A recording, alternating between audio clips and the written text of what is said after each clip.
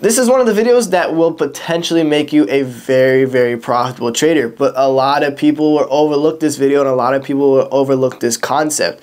And I know it sounds like a basic concept, especially from the title of this video, but there's a lot more to it than you think. And it's a lot deeper than you think. And a lot of people overlook it, which is why you're not profitable or this is why you're not as profitable. Now, me as a trader, I like to make things a lot simpler than most people do. A lot of people like to overcomplicate the stuff that should not be overcomplicated. Me, however, I like to simplify everything. I like to make things super simple and not overcomplicate the stuff that should be simple. I like to make everything simple so I figure out exactly why this is doing this, why this is doing this. It doesn't need a whole quadratic formula or anything like that. The way that I make things simple is by just figuring out the why to everything, right?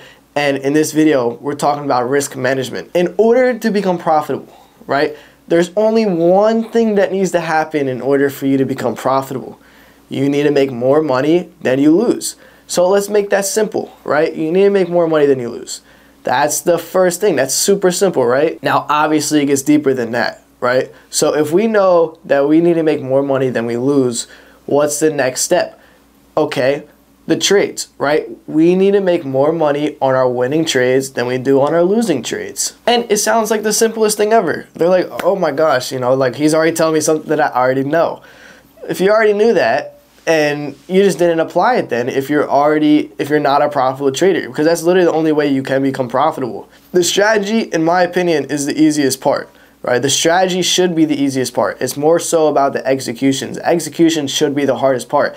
And as you get up and up and up, you know, in your trading career, it should just get easier and easier to execute. If I tell you you could win $80 if you risk 100. So if you give me $100, if you're right, I'll give you 80 back. So you get the 100 back and you'll only make $80 but you're risking 100. That doesn't really make sense unless you're very, very confident that you're going to win. And it's just like trading. Now, again, trading is not guaranteed whatsoever if you're going to win or lose, but there's higher probability setups, which is why my win rate is so high. Last week, 100% win rate. The week before that, like 92% win rate. It's because I only take the highest quality setups. And my risk reward is amazing. I get a 1 to 3 risk reward almost every single time. So if I risk $50, my winning trades will be $150, for example. So all I need to do is win about 35 40% of my trades and I'll still be profitable. Just keep it that simple. And a lot of people overlook that. And it sounds simpler than I'm making it out to be, right? It sounds like, oh, well, if it's this easy, then everyone can become profitable. No, because the execution, again, is the hardest part.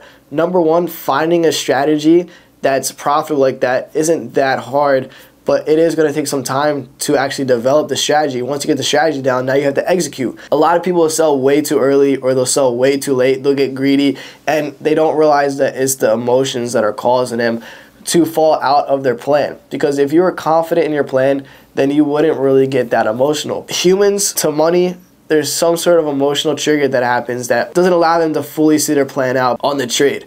So that's something that you need to be able to get over. And it does take a while to get over that, but once you get over that, you're good to go. Like trading, once you get over that, it's like, how is it this easy? Or how is it this simple?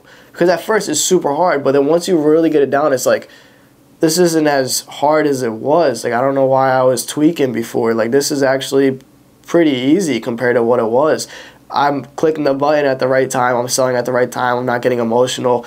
You know, I'm not even looking at my P&L. You know, I'm just like I'm just trading the chart. And the way that I trade, I make the strategy super simple. So once you get the execution down and be able to control your emotions, trading is really not that hard once you get used to it. It's just about controlling you. And it's about the person that you have to become in order to be a profitable trader. If you're not profitable right now, you're not the right person to become profitable.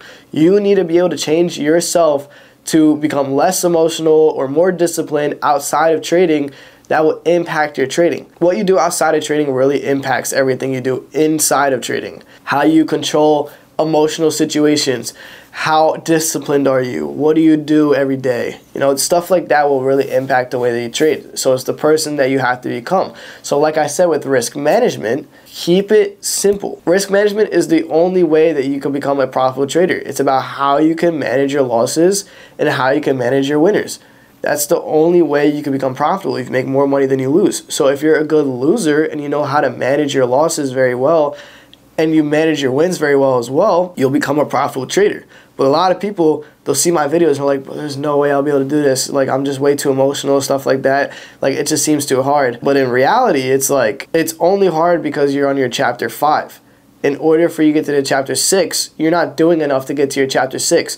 And then when you're on chapter six, you have to do enough to get to the chapter seven. And you keep going, keep going. And then around chapter 15 is when you start to become a profitable trader without emotions and you're able to execute almost flawlessly. Like today, for example, I saw the 5 minute, I saw the 15 minute, they were all looking good for upside. They were aging to the upside. It was looking very, very nice.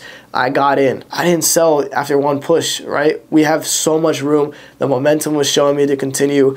I didn't care how much I was up. I was up 20%, 25%. Like, that's a lot. But I don't care because it's about executing the trade. It's not about the money right? So then I wait, I wait, I wait. And then when I saw that it broke out with strength above a certain area that was previous resistance, that's when I sold because I saw that it started getting weak up there and I wanted to sell with that momentum right there. And I made 30% full in, full out, no trims whatsoever. There's no point of trimming, especially on a trade like that. I was literally done in six minutes and I made 30% of my position size. And that's it. That's all you need. And then you just wait for it tomorrow and then you execute again.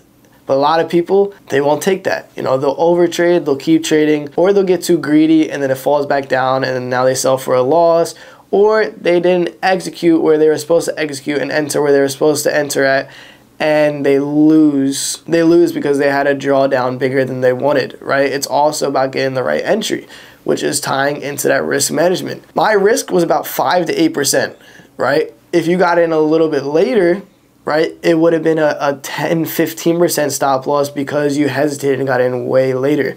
When I saw everything aligned, I did not hesitate to click the button. Why? Because I know my risk is 5 to 8% and I'm okay with that. I'd rather risk 5 to 8% than make 30%. I'll do that any day. But a lot of people don't look like that. You know, they, they're like, oh my gosh, you know, I'm going to lose this if I lose.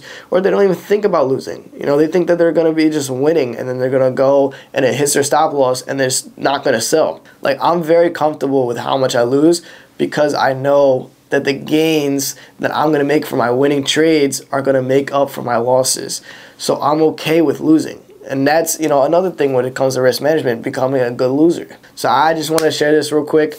Also, the Cancun vlog is coming out soon. I was in Mexico. If you guys didn't already see on my Instagram story, I literally post every single day on my Instagram story and then you know you guys saw my Instagram post but I'm very active on Instagram like my Instagram stories and everything like that so make sure you guys go check that out I haven't posted in a week because I've been on vacation so hopefully you guys enjoy this video and I'll see you guys next time